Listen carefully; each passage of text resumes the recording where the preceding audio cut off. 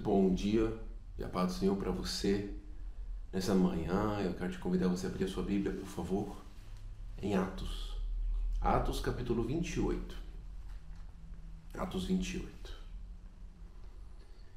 E havendo escapado, então, souberam que ali a ilha se chamava Malta. E os bárbaros usavam conosco de não pouca humanidade, porque acendendo uma grande fogueira nos recolheram a todos por causa da chuva que caía e por causa do frio.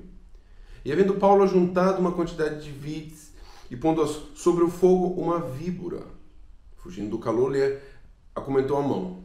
E os bárbaros, vendo a víbora pendurado na mão, diziam uns aos outros: Certamente esse homem é homicida, visto como, escapando do mar, a justiça não deixa de viver.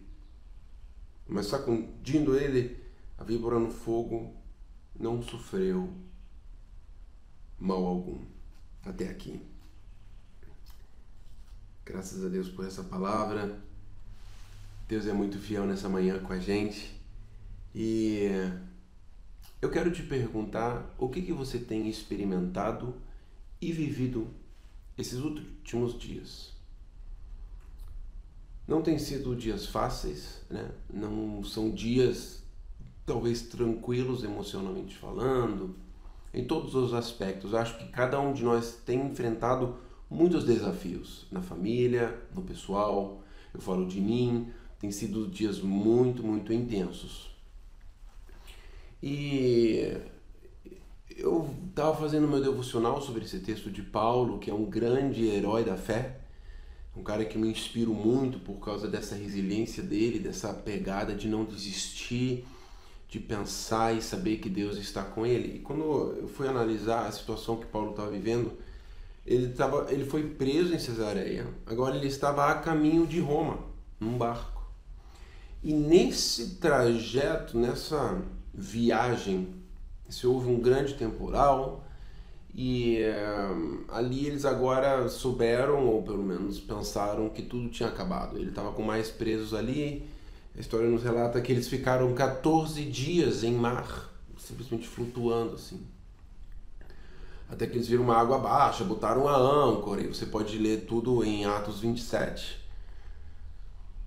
E eu estava me, pensando, me perguntando assim: a história, a situação que Paulo se encontra é muito, muito séria é uma situação muito sem expectativa, sem esperança. Ele estava de um lugar que não era nada bom para ele. Ele estava preso, estava sendo levado a Roma.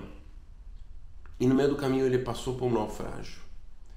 Nesse naufrágio, nessa situação horrorosa, nessa situação devastadora que amedronta qualquer um de nós, ele tem um encontro com Deus. O anjo lhe aparece e fala assim: Olha, avisa para todo mundo que eu vou salvar todo mundo. E no meio daquela, daquela turbulência, ele avisa para todo mundo: olha só, Deus vai salvar todos vocês, os 276 que estão aqui. Olha só que tamanho de navio. E isso me leva ao meu primeiro ponto, que em meio a tanta dificuldade, tanto desespero, é importante eu ter o meu encontro com Deus e eu ouvir a voz de Deus e não a voz das circunstâncias. E a voz de Deus para mim e para você é que você vai ser salvo. E quando isso acontece, quando todo mundo é salvo naquele lugar, ele agora se encontra rodeado por uns bárbaros, muito gente boa, estava frio, estava chovendo, não era uma situação muito legal. Pensa, você acha que eles tinham roupa seca para todo mundo? Ah, não consigo acreditar. Então eles estavam numa situação bastante com muita fome, acredito eu, né? Tantos dias é, no mar. É, meu, que situação. E Paulo foi buscar madeira para lenha. Eu entendo assim, para Paulo não tinha tempo ruim. Sabe aquele camarada que sempre vê uma solução em tudo? Não, vai dar certo. É, eu vou ser, eu vou ser útil aqui. Deus tem um propósito para mim aqui. E talvez as pessoas em volta dele falem assim, mas como é que você que você está preso? Você salvou todo mundo, você daqui depois vai ser preso de novo, talvez você vai ser morto lá em Roma. O camarada já tinha, já tinha de idade avançada, então é, tem alguns estudiosos que falam que ele estava na idade mais ou menos dos 60, 58 anos. E ele com essa cabeça renovada. Esse é meu segundo ponto. Quando a gente anda com Deus, A gente precisa ter uma mente renovada, uma mente que não se ancora, não sei nem se essa palavra existe, uma mente que não se finca, essa é a palavra certa, nas circunstâncias ou nos desafios ou nos problemas, e sim em Deus, na palavra de Deus, na experiência com Deus, na vida com Deus. Ele acabou de ter um encontro com Deus. E o anjo falou para ele: Olha, vai dar tudo certo. E aí esse camarada era ele. E ele falava que tudo vai dar certo, tudo vai dar certo. E agora estava tudo frio. Em vez de ele esperar ser servido, ele foi lá buscar madeira. O que tem de errado nisso? Nada. E agora, no meio dessa situação que o cara é preso, passou naufrágio, tá com fome, a fogueira talvez ainda não está acesa do churrasco que eles vão fazer. Talvez vão comer especiarias da, da ilha. E agora, não só basta isso, uma víbora, aquela cobra verde, vem e pica ele. Ele estava lá buscando madeira. E de um desastre se torna uma bênção. Esse é meu ponto 3. Quando nós andamos com Deus, o desastre vira bênção. Eu tive o privilégio de ler uma situação de um estudo que foi feito sobre alguns sócios que participavam da, das Torres Gêmeas e que não estavam no dia do atentado no prédio. E eu vou ler para vocês um estudo que foi feito perguntando a essas pessoas o que, que tinha acontecido, por que, que elas não foram naquele dia no trabalho. Um diretor de uma pequena companhia chegou tarde porque tinha que participar da reunião do filho e se atrasou. Uma mulher se atrasou porque seu despertador apenas não tocou. Outro funcionário havia, se atrasado porque pegou o caminho diferente, pensando que ia chegar mais cedo, porém pegou um engarrafamento. O outro funcionário perdeu o ônibus. Uma funcionária foi atingida por cocô de um pombo e precisou voltar para se trocar. Um dos sócios teve um problema ao ligar o carro e precisou ligar para um mecânico.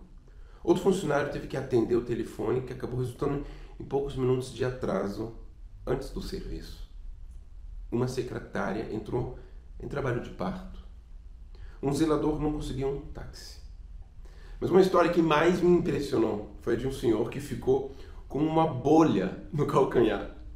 E devido ao seu sapato ser novo, ele que ele tinha comprado para o trabalho, ele decidiu ir na farmácia antes do ataque para comprar um curativo para ele. Agora, quando eu li essas histórias todas, eu, eu pensei comigo, quando eu agora fico preso no trânsito, ou quando eu perco o ônibus, quando preciso me atrasar ou atender a uma necessidade do meu filho, talvez, ou qualquer outra situação tenta tirar o meu humor. Eu lembro dessa história e eu sei que Deus está no controle da minha vida. Todos esses acontecimentos, desastres, situações, todas essas poucas coisas serviram para a vida.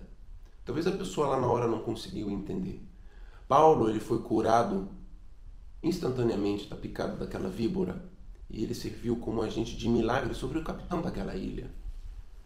A Bíblia nos relata que alguns meses depois, um outro barco vindo de Alexandrina levou ele, ele foi preso e ficou mais dois anos preso em Roma. Então nada disso que aconteceu tirou ele da prisão, mas ele foi um agente de transformação, ele foi um agente de milagre. Por onde que ele passava, o desastre virava bênção.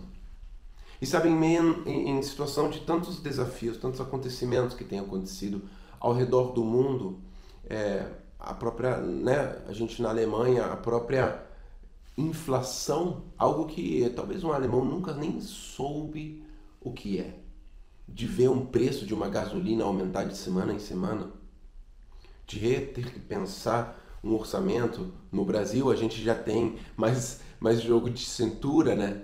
Uns falam que é o jeitinho brasileiro, outros falam que é a forma de sobreviver no Brasil, de entender que preço pode aumentar, eu preciso então trabalhar aqui a mais, eu preciso fazer mais alguma coisa ali, eu não posso me conter com um único trabalho só e aquela coisa. O mundo está numa situação fora do normal. E o mundo como a gente conhecia ele antes, ele nunca vai voltar a acontecer. A pandemia, ele fez, ela fez um marco e agora, no meio a tantas situações, tantos desafios, tantas novidades, tantas notícias, tantos acontecimentos, eu vou te falar o seguinte: a maldição ela vira bênção quando nós temos um compromisso, uma aliança com Deus. Quando nós ouvimos a voz de Deus. E a minha mensagem para você hoje, anda com Deus e ouve Deus. Tenha um encontro diário com Deus, para que você, no meio dos desafios, das notícias ruins ou das situações que forem acontecer, você sempre possa ser um agente de milagre para você e por 275 em sua volta. Com ele, 276. Seja você esse agente de milagre na sua vida e na vida dos seus amigos, irmãos e familiares. Que Deus te abençoe nessa manhã.